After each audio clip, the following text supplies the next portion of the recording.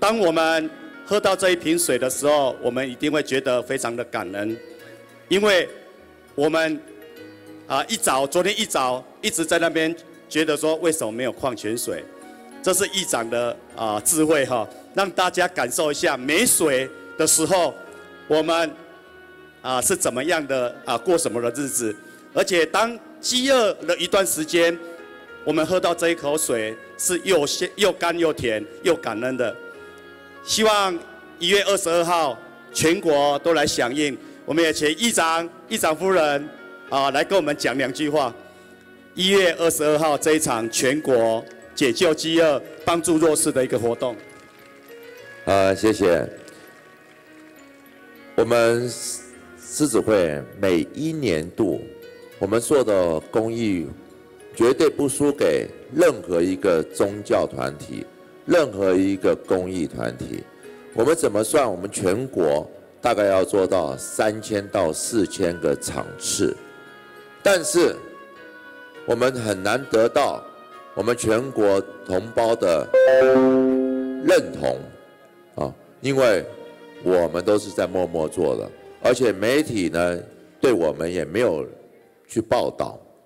所以我认为，第一个，如果我们把我们做的事情集合在一起，同一个标、同一个品相，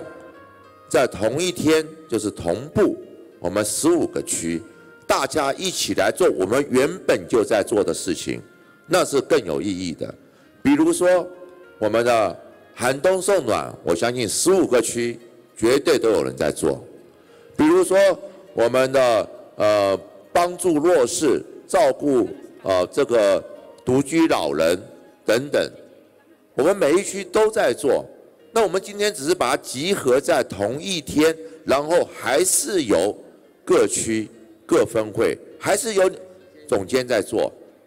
总监在做。但是我们这样子爱心大串联，是不是让我们每一个师友都会有感受到？哦，我们狮子会真的有在做事，让我们全国的百姓也都感受到哦，赛猪会文养后，也增加了媒体报道的价值啊。这个呢，呃，我们并不是只限于我们参会，我们可以做很多各区的做法不一样，有的发送物资啊，有的啊举办参会，有的去。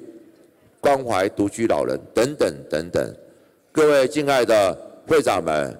一月二十二号，也就是农历年前的